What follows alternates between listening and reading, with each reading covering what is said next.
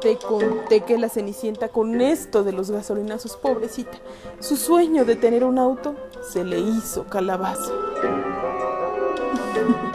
¿Qué tal? Bienvenidos al cuento de todos los días. ¿Cómo andan sus finanzas, eh?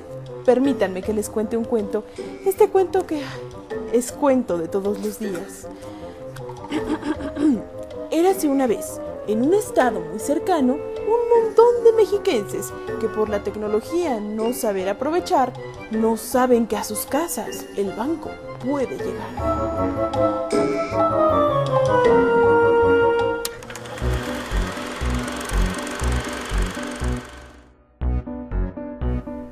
Pagarle más al taxi para que no le toque el tráfico, 10 pesos.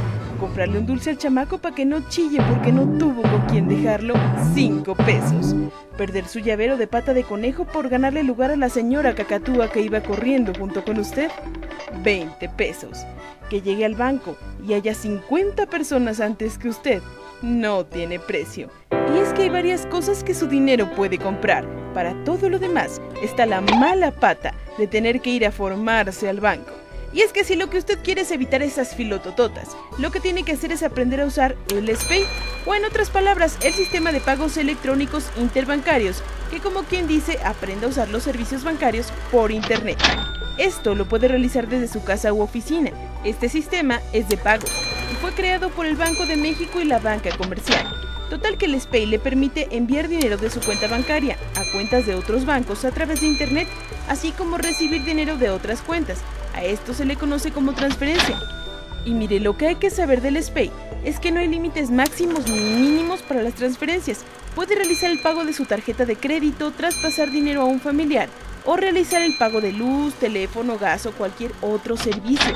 Esto claro, siempre y cuando a quien le vaya a depositar le dé su clave bancaria estandarizada y la referencia o concepto de pago, con que se identificará que fue usted quien realizó el depósito.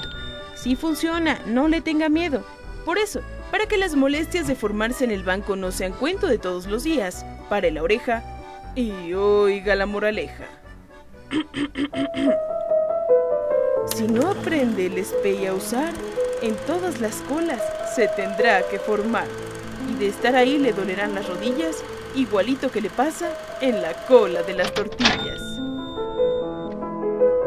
Ahí un saludo para los hermanos Irving y Michelle de Toluca y para la señora Polita y la familia Moreno de San Felipe del Progreso que dicen que no se pierden este cuento.